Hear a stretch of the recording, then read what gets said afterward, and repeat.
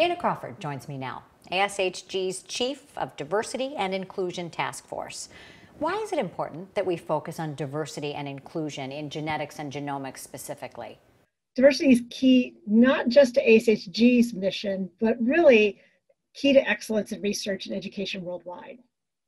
So currently, our biomedical diversity workforce is not that diverse. Um, just as an example to illustrate this, in the US Census, uh, the latest statistics, approximately 13% of respondents self identified as African American or Black, approximately 18% self identified as Hispanic. But when we look at our uh, science faculty and academics, say at schools of medicine, the basic sciences, we see that approximately 6.8% might self identify as uh, a member of an underrepresented group. Um, an even more extreme example would be for women as faculty members in academics. Of course, women make up about a, half of the world's population, but only 35% of the faculty at schools of medicine and basic sciences. So clearly, we don't have the diversity in academics as represented in our populations. And that's a problem because social science data shows that as we bring more diverse individuals into groups working on problems, more creative solutions are achieved. So really, we argue that the best science that we need is bringing together, bringing together people from diverse backgrounds. What is the ASHG doing to help diversity and inclusion within the society? I think ASHG is doing a lot, whether its membership realizes it or not. So I'm here speaking with you today because I'm chair of the new Diversity and Inclusion Task Force.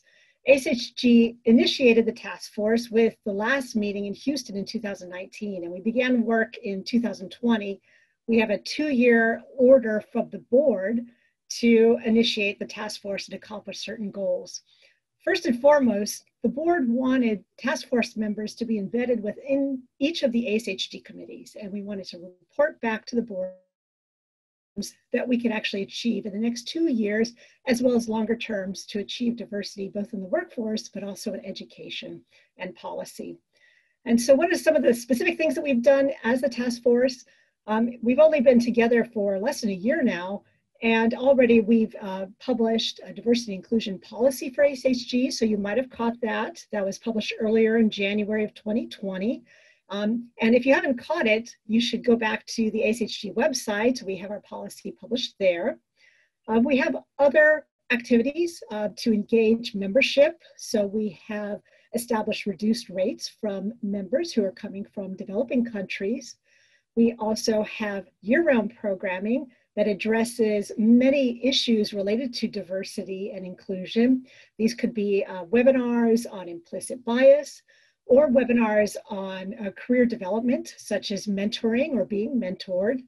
Um, we have specific programs related to supporting early career scientists that we're very proud of. Um, this is the Human Genomics or Genetic Scholars Initiative. And I would be remiss if I didn't mention that it's not just uh, limited to members of ASHG or ASHG attendees. We are trying to also engage uh, students earlier in their career process. So ASHG is now exhibiting along with the American College of Medical Genetics and the National Society of Genetics Counselors. We're exhibiting together as a group to engage undergraduate students uh, in early in their career process to begin thinking about careers in genetics and uh, genomics uh, in research. Um, so this represents the first time that ASHG really has uh, begun outreach efforts earlier in the career process to engage more diverse groups to begin thinking about careers in science. And what are some resources members can use to ensure they're approaching diversity and inclusion the right way? If you're a member or a non-member of ASHG and you're wondering where I can find resources and where I can access these resources, I have a couple suggestions first and foremost, um, whether you're a member or not, you can go to the ASHG website and look at some of the diversity and inclusion activities that we have initiated and are ongoing. So, for example, if you're a postdoc and you're interested in applying for the Human Genetic Scholars Initiative, please visit the website for deadlines and instructions on how to apply. Or if you're interested in some mentoring tips or how um, you should engage with your mentor. We certainly have year-long programming at ASHG regularly posted on the website and emails for the membership that announce webinars that address some of these issues.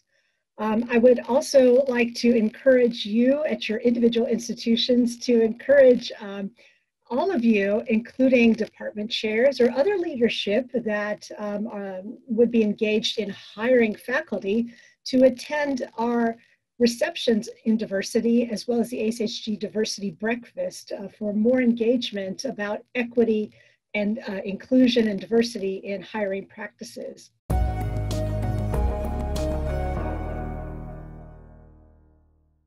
Thanks again for watching. And if you'd like to watch more clips like this, go ahead and click on some of the links to my side for more exciting content from this year's ASHG virtual meeting.